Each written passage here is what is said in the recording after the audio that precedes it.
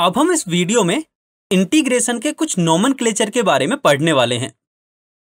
हमने डिफ्रेंसिएशन में पढ़ा था कि हम डिफ्रेंसिएशन को डी बाई डी एक्स से रिप्रेजेंट करते हैं, जिसका मीनिंग होता है differentiation with respect to x जिसे हम कुछ इस तरह से लिखते थे, जहाँ हमें फ़ंक्शन कैपिटल एफ़ एक्स दिया होता था एंड इसका differentiation with respect to x करने पर हमें स्मॉल एफ़ एक्स मिल जाता था।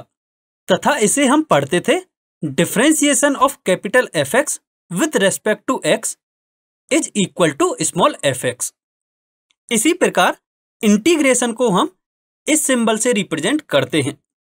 यह सिंबल एक एक्सटेंडेड एस के टाइप का होता है।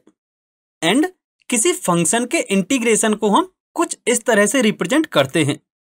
जहाँ हमें फ़ंक्शन स्मॉल एफ़ एक्स दिया होता है एंड हमें कैपिटल एफ़ एक्स फाइंड करना होता है।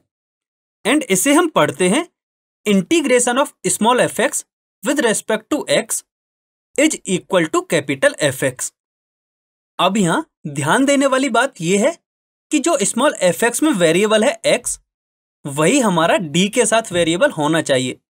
तभी हम किसी फ़ंक्शन को इंटीग्रेट कर सकते हैं। इसे हम एक एग्ज़ाम्पल से समझते हैं। हम जानते हैं कि साइन एक्स का differentiation with respect to x cos x के इक्वल होता है। तो हम यहाँ से कह सकते हैं कि कॉस एक्स का एंटी डेरिवेटिव या फिर कॉस एक्स का इंटीग्रेशन साइन एक्स के इक्वल होगा। एंड इसे हम कुछ इस तरह रिप्रेजेंट करेंगे और इसको रीड करेंगे integration of cos x with respect to x is equal to sine x